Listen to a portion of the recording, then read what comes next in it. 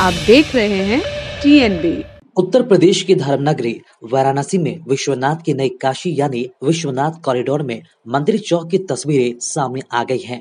नकाशीदार इमारतों और खम्बे की गुलाबी आभा के बीच बाबा विश्वनाथ के स्वर्ण शिखर की छवि हर किसी को मोहित कर देगी। विश्वनाथ धाम और कॉरिडोर की शुरुआत से ही मंदिर चौक बनने को लेकर सभी की दिलचस्पी थी कि ये बनकर कैसा दिखेगा मंदिर चौक। लेकिन अब वो इंतज़ार खत्म होने को है।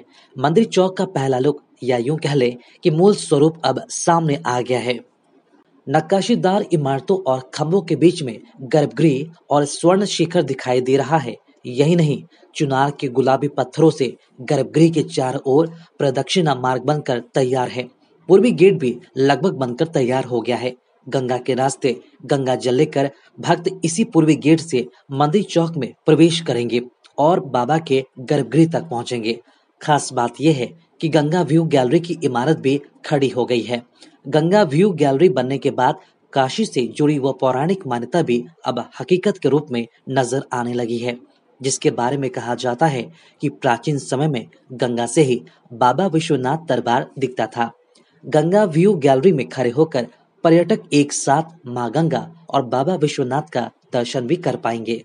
तकरीबन पचास हज़ार दो सौ साठ वर्ग मीटर में बनकर तैयार हो रहे विश्वनाथ कॉरिडोर में मंदिर चौक के बाहर की सभी 24 भवनों की इमारतें खड़ी हो गई हैं। अब फिनिशिंग का काम जारी है। इन भवनों में भोगशाला कॉफ़ी शॉप म्यूज़ियम मुमुक्षु भवन, यात्री सुविधा केंद्र टूरिस्ट केंद्र, नीलकंठ भवन ऑफ़िस और भी सब कुछ बन रहे हैं। सात तरीके के विशेष पत्थरों का इस्तेमाल किया गया है।